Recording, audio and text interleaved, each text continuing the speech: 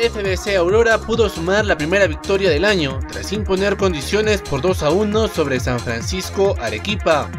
El partido fue disputado durante los 90 minutos, se vivió con bastante pierna fuerte y mucho coraje. Una y otra vez, ambas escuadras buscaban la manera de desestabilizar el marcador. El defensor atigrado Renato Valdivia catalogó estos partidos de una manera especial. Con San Francisco siempre es como un clásico. Este, creo que se, jugó, se pegó también de parte de, los dos. Pero bueno, es parte del fútbol, ¿no? Las cosas quedan en la cancha y, no, un partido muy reñido, muy bueno por, por ambos equipos, ¿no?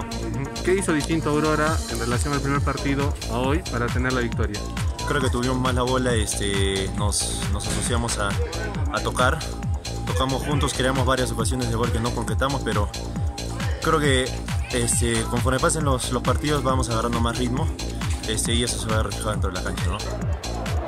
Juliano Gamarra marcaba el primer gol para el conjunto atigrado.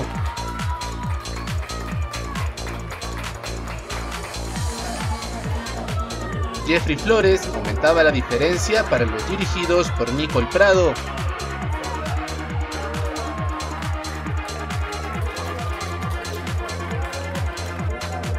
El tanto de descuento llegaba por medio del lanzamiento de los 12 pasos.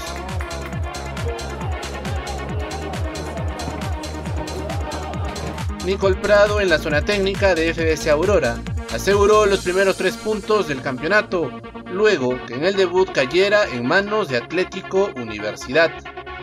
Hoy por hoy hay muchas caras nuevas en todos los equipos y bueno, es una linda oportunidad para que los chicos aprovechen y puedan eh, poco a poco hacerse un nombre en el fútbol eh, regional y bueno, obviamente sumar experiencia para, para poder mejorar su juego este, fecha a fecha y eh, sobresalir dentro de tantos chicos que, están teniendo la oportunidad ahora. ¿no? ¿A qué se proyecta el FBS Aurora para este año?